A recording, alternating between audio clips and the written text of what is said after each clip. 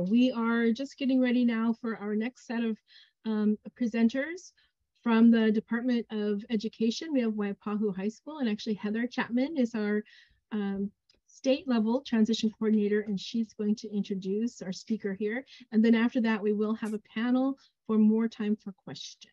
Okay, so go ahead, Heather. I'm educational specialist for State Transition Office. I'm so honored to um, present Principal Gary Chun from Waipahu High School. He's going to describe his amazing work-based learning um, program at Waipahu, which is a model for the state. So welcome, Gary. Thank you so much for joining us today. Ooh, I hear chickens. I'm actually the academy principal of uh, Ohana of Excellence Academy and actually assistant principal for the whole school. Yes, Gary Chun, and I'm going to talk about uh, work-based learning and our academy. Um, where's my slide presentation, or do I just present? You can present on your own if you need to. Okay. I also have it if you need me to present for you. Okay, wait, here it is. Everybody can see that, or Not yet. not yet? Okay, hold on, yeah.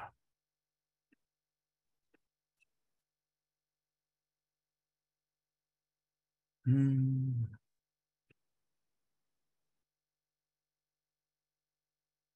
Share screen, there you go.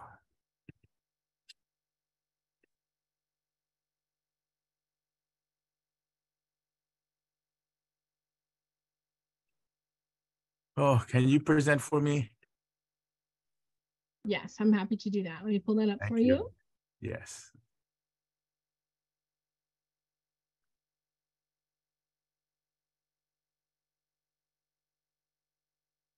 All right, here it is. Oh, thank you. All right. Uh, so Ohana of Excellence Academy, uh, we are a model academy, the only one in the nation that is uh, a special ed one. Uh, we got model status uh, in 2020. And our students uh, do not earn a diploma, but they earn a certificate of completion. Yeah. Next slide.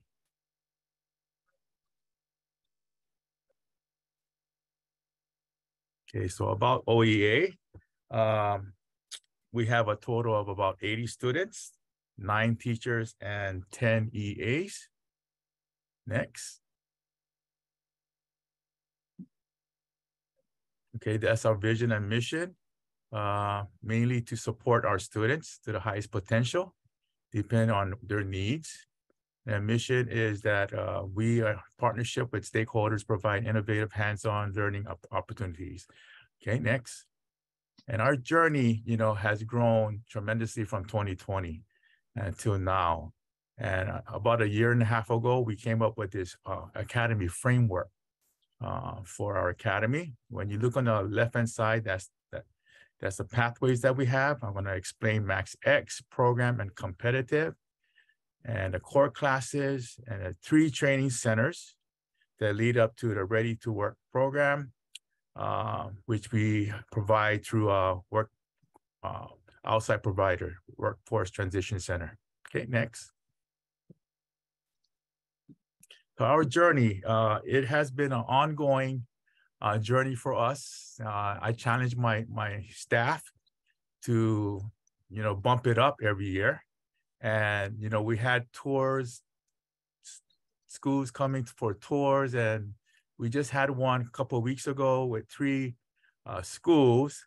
And the neat thing was one of the teachers who came to visit two years ago uh, shared at our debriefing that, wow, two years ago to now, you guys are really uh, bumping it up. But yeah, it's an ongoing uh, challenge to my staff, and they're they're awesome. It takes a whole village to make this work. I can't do it by myself. It- it- it's up to the the, the staff and the EAs and even our board members uh, that are uh, helping with our, our goal, our mission and our vision. Okay, next. And uh, it's all about not just paper pencil type of work or reading and math, but it's, it's about the skills that they need uh, to gain in order to go where they need to go based on their needs, based on their IEPs. Okay, next. Okay, so Max X pathway is basically our medically fragile uh, class. And uh, they more than likely gonna end up in some type of uh, adult uh, daycare uh, when they exit out of uh, our school at age 22. Okay, next. So when, when you say Max X or what kind of work-based uh, learning that they do, they do things like recycling, gardening, and cooking. You know, next. And the next uh, pathway is called program. Next. Program, these uh, students actually, you know, when they exit us, more than likely they're gonna uh, end up in some type of a uh, program that ha that is assisted. And if if they can do better than where they're at, we move them up to competitive. So let's look at what they do for the program people on regarding WBL. They do uh, charcuterie and all these things that they uh, market and sell to um, the school is basically sharing and selling to our staff members only, yeah? So charcuterie that they uh, provide. Uh, next. They do Ohana sweet treats. Next. Newspaper delivery. Next. Uh, let's go past all these. Next, next, car wash. And being independent means living one's own story every day. And you know what, these students, I, I know uh, Heather went to visit those, those classes before too, yeah, on tour. They they have a character that it, it's just unique. And when people see those kids and what they're doing, what they can do, they're they're simply amazed. Like, wow, I didn't know they can do these things. But these are the skills that take a long time for them to uh, accomplish and, and, and move on. Yeah. And some of them succeed and move on to the next level, next pathway, which is called the competitive. Okay, next. So a picture is worth a thousand words. When you come and take a look at our kids and what we do here at Waipahu High School, it, it's just amazing. Everybody's just amazed at what they can do from the max X level to our competitive level. Next. Okay, so our Academy framework, as you can see the arrows going up and down from max X program and competitive, they go up and down based on their needs. And then from competitive, they move into core classes where they touch upon financial literacy, employability, and health and hygiene, yeah? And that leads up to our three training centers, you know, sort of like uh, vocational centers, yeah? Which they develop skills, more mm. skills. And we have three, and one of them is called Kane Bookstore and Printing, where we have embroidery and uh, silk screening. And Kane Cafe, we uh, are sponsored uh, by Dunkin. They provide a lot of our materials, equipment uh, that we can market to our, our staff. And the last one is Kane Services, where they do building maintenance and lawn services um, skills that they work on. Okay, so let's take a look at the next slide. So competitive training centers. And our logo is called Kane Cafe, Kane Services, and Kane Bookstore because Waipahu used to be a sugarcane plantation town, right? And that's why we named them that. Okay, next. Here, here's Kane Cafe. They do orders. And like I said, they're, they're uh, sponsored by Dunkin. Uh, they provide a lot of uh, coffee, tea, and, and, donuts and bagels and all that too that they uh, sell to the staff on Tuesdays and Thursdays. There's a Google form that I send out uh, to the staff and they order on a Google form and they do those delivers on Tuesdays and Thursdays.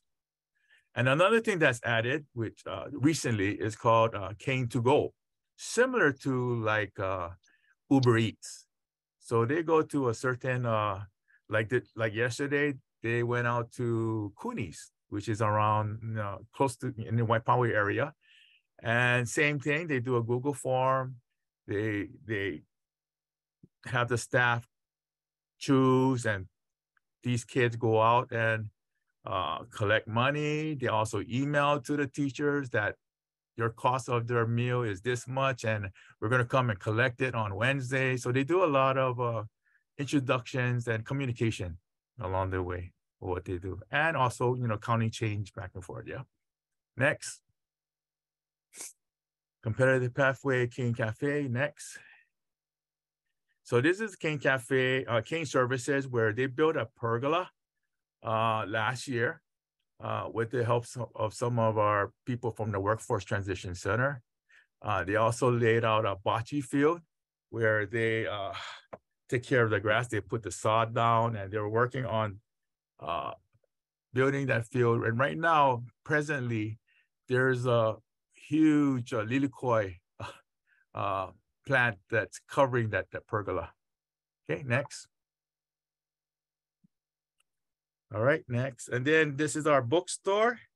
Our bookstore screen printing. That's what they're doing right now.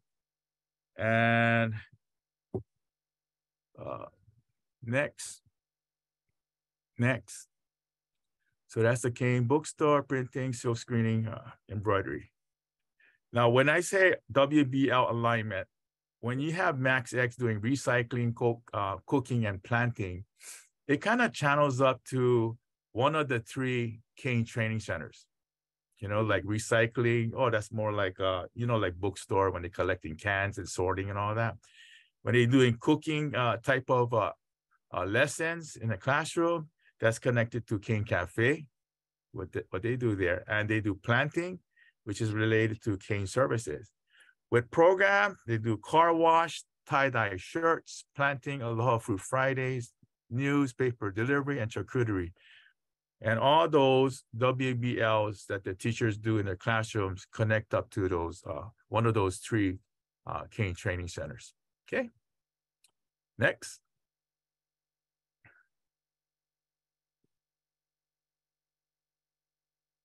Next slide, please.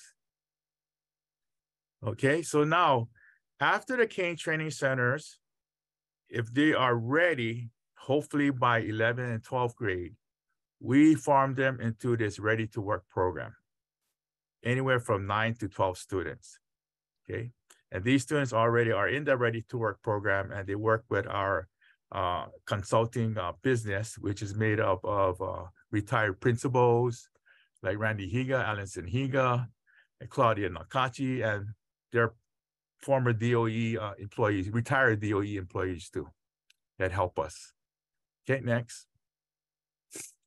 So they get assigned to based on what their interest is in what they want to do. These are all entry type level uh, uh, businesses because they're going to take a chance on them by training them.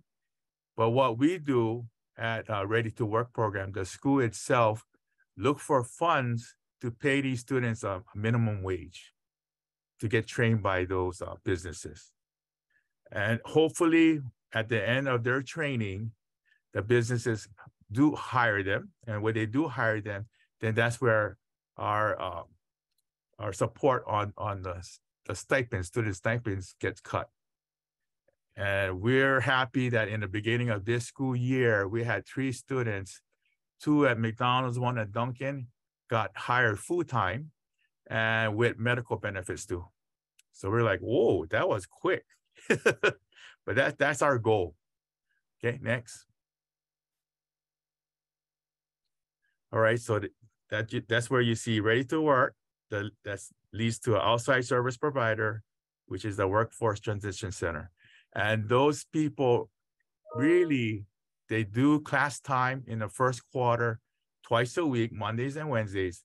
And by the second quarter, they get placed at a, a business and they come back for uh, Wednesday classes so that they can continue to look at how they're doing in this in those businesses and they they bring up all type of scenarios to share and work on those skills okay uh, they go out to work anywhere from three to four times a week. They don't come to school at all. They just goes directly to work, and that that's their uh, class time uh, during uh, the regular work week. They just come once a week now on Wednesdays. Okay, next. So that's the Workforce Transition Center. Next. And these are just the uh, research and development uh, of why we built something like that. Um, when we put students out with regular ed or regular normal people, they're more successful. You know, uh, working in that type of environment, environment like McDonald's or Taco Bell or you know Dunkin'. Uh, when you when we go and visit, you can't even tell who our special ed students are, uh, and, and and that's good. You know, that's what we want. We want them immersed with the, the general public. Okay, next. And Workforce Transition, Transition Center, we have a lot of partnerships with the community business businesses. Outcomes are to innovate, impact, and inspire, you know. And those kids, they feel good when they come once a week. They feel really good and proud that they're making money now. They're being successful. And they help out with the other trans, uh, kids so that they can get them enticed to hey get into this program next after you're you're finished with the training center. It, it's it's neat to see. And the parents are very proud of what's going on too with them being successful.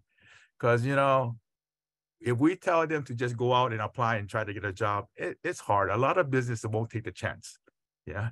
So we have to build something like this uh, a program like this to to be successful and getting an outside agency to help us uh, is a key.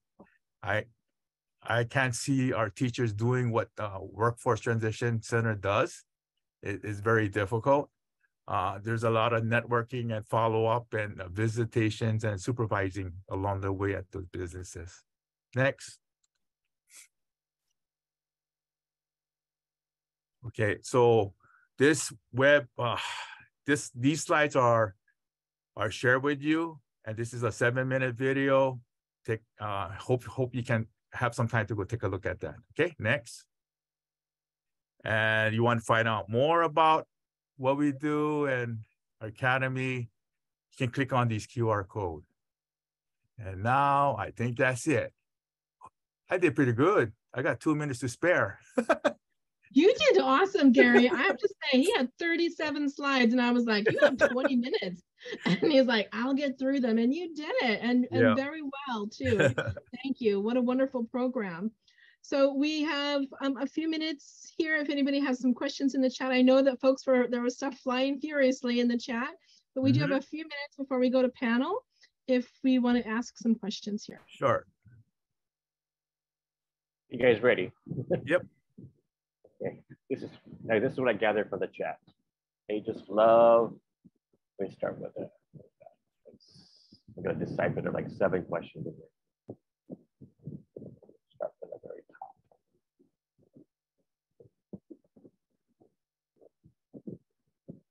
Okay.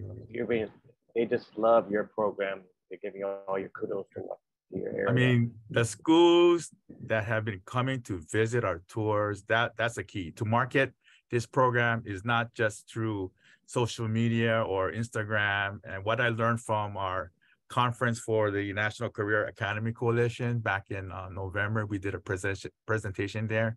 Marketing is really, you know, the face-to-face coming to tour, talking story there. And when they do come and they see our kids and they see our classes and they see what we're doing, like they're just like, wow. And then the word gets out. But I always tell them, you know, it you can't, it's hard to replicate the whole thing because this is a journey that's ongoing. But if you can take bits and pieces and start from somewhere, because in the beginning, when I first started there, um, about six years ago, our WBL, our work-based learning program, that one activity for all nine classes was just car wash. And doing car wash for all nine classes, teachers finally realized, you know, my kids are better than that. They can do this, they can do that. Some some classes like the Max Excellent, they, they can't really do much with car wash. So I tell them, told them, hey, it's up to you. What can they do? What kind of skills can they build? And they went off after that. Right now, today, we have uh, about two or three program classes doing car wash. Everybody else is doing different things. Okay. Thank you, Mr. Mr. Chung. Um, one of the pro, one of the questions is, is this a magnet program? Can any, any oh, from attend from other districts? They would have to do a GE, you know, because you know it- it's difficult to uh, be a magnet. I mean, I would love to, you know, head that direction with all the schools, but I don't know what the big plan is for the DOE regarding magnets. Uh, It, it, it makes sense because all the mainland schools are like that. And I realized when we visited the mainland schools and why there's no other uh, special ed program that has an academy like this, I realized because all of them are magnet schools. And a lot of the special ed students that we have, they're in special ed or special needs type of, of, of schools. And that's the reason why we don't see anyone doing that.